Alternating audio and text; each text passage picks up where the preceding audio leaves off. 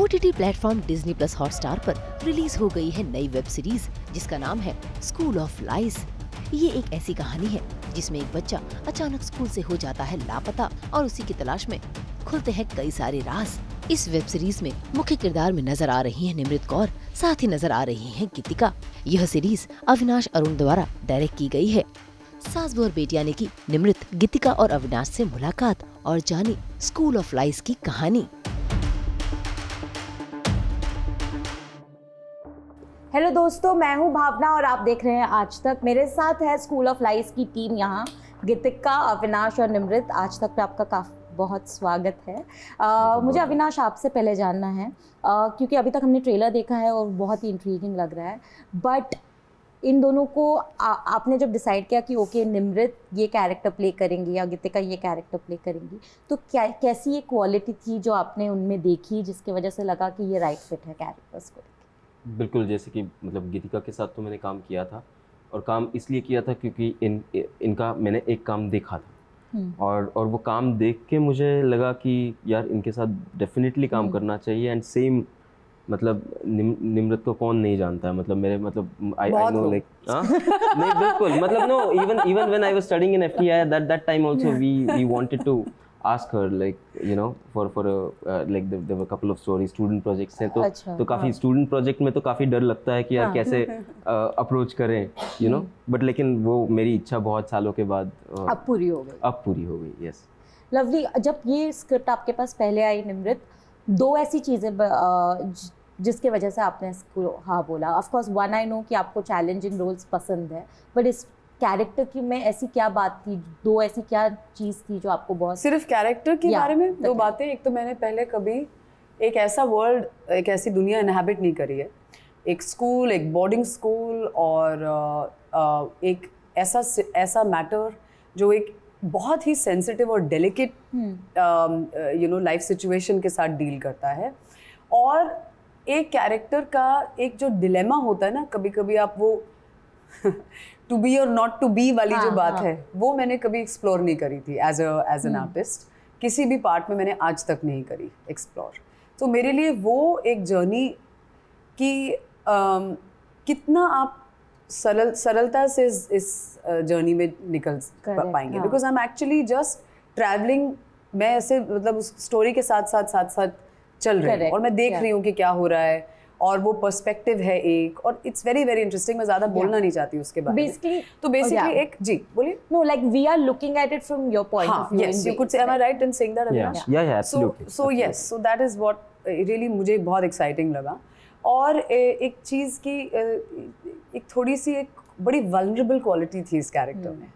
तो वो मैंने बहुत कम एक्सप्लोर करी है in the last you know in my career तो वो एक वल्नरेबिलिटी विदाउट रियली एक क्वाइट स्ट्रेंथ होती है ना किसी में एक बट हम्म, हम्म। एक आप अपने साथ एक एक वल्नरेबिलिटी लेके चलते हैं। You hmm. नो आपकी ख्वाहिशें हैं बट आपको नहीं पता कि आप उसको उनको साकार कर पाएँगे कि नहीं।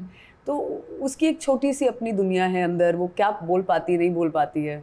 um, वो बड़े प्यारा सा एक एक एक उसका सफ़र है। तो मुझे वो बहुत प्यारा लगा नंदिता के बारे में। I am looking forward to seeing all of that Geetika challenging क्या रहा? क्योंकि I know it's not an easy character to pull off you know but जब आप सेट पे कभी कभी ऐसा होता है कि आपने पढ़ा और आपको लगता है कि आप ये कर लोगे या फिर ये दिखता आसान है लेकिन जब आप एक्चुअली में सेट पे होते हो और ये जब कैरेक्टर प्ले करना होता है तब पता चलता है कि ये बिल्कुल भी आसान नहीं है। mm-hmm. आपके लिए ये कैरेक्टर किस तरीके से था? Did it look easy at first and then became difficult या पहले से ही पता था कि यार ये तो बहुत ही डिफ़िकल्ट कैरेक्टर होने वाला लगा था ईजी होगा। hmm.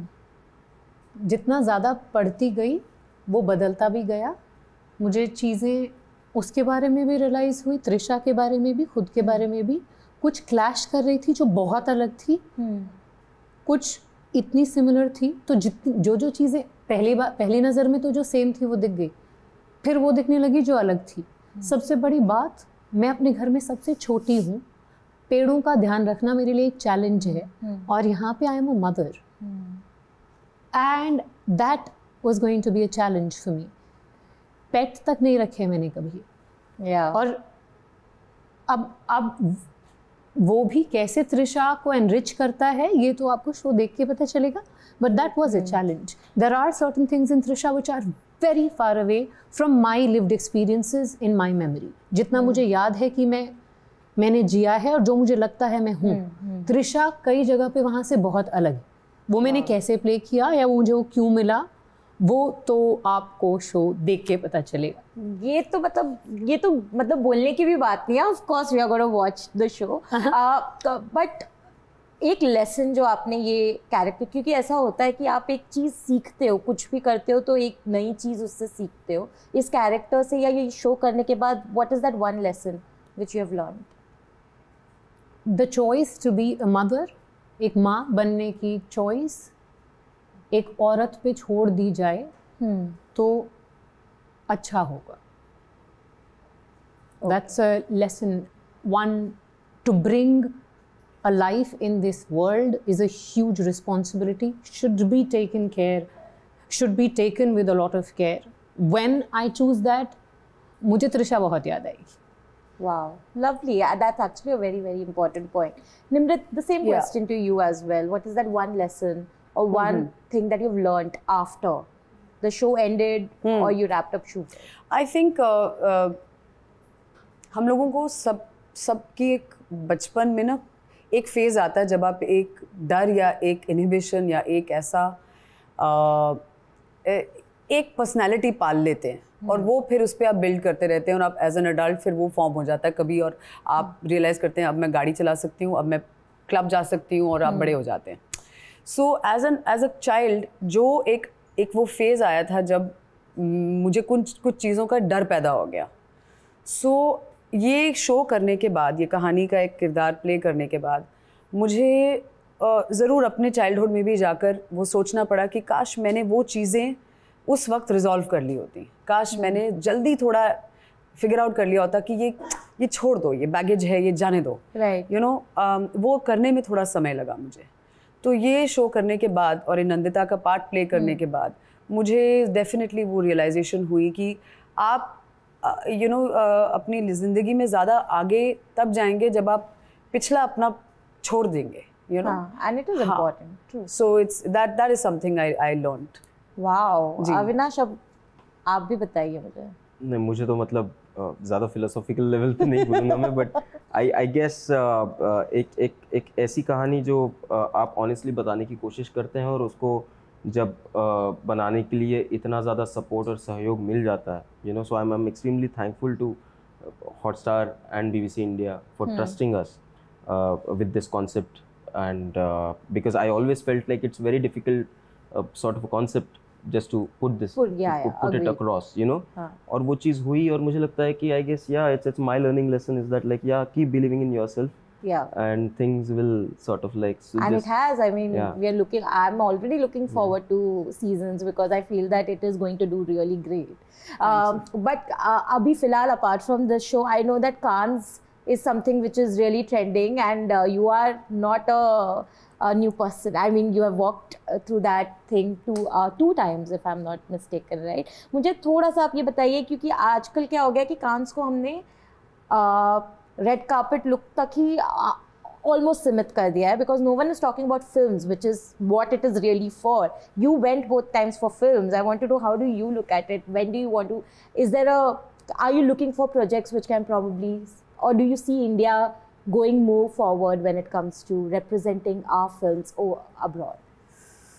Well it depends from year to year ये किस साल में क्या प्रोड्यूस होता है क्या काम सामने आता है यू नो हर साल एक दूसरे साल की तरह नहीं होता. इट्स जस्ट दैट और ऑनेस्टली अगर किसी जगह की एक एक एक्स फैक्टर है उसकी एक सेक्स अपील है I would like to say Cannes film festival at the end of the day has a very very massive appeal all of us look at the red carpet भले हम film के लिए देख रहे हैं या या ब्रांड्स के लिए देख रहे हैं या इंडोसीज के लिए देख रहे हैं या जो भी देख रहे हैं it is entertainment at the end of the day and मेरे को लगता है कि आजकल की जो लाइफ है हमारी जब इतनी इन्फॉर्मेशन हमारे पास आ ही रही हाँ. इन एनी केस है ना? तो this social media this Instagram this this and that तो एक चीज़ को हम बोलें कि यार ये तो नहीं होना चाहिए उससे बोलने से तो होगा नहीं कि वो नहीं होगा।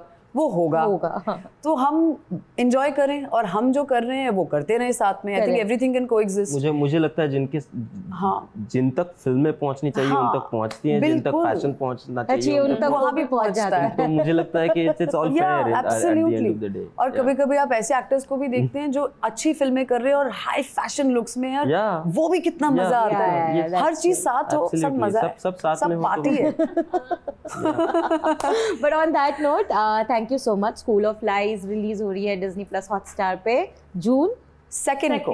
On that note thank you so much and I hope that the series does really well thank you very Thank much you. Thank you Thank बहुत you, बहुत Bhavna. शुक्रिया आपका। Thank you. Thank you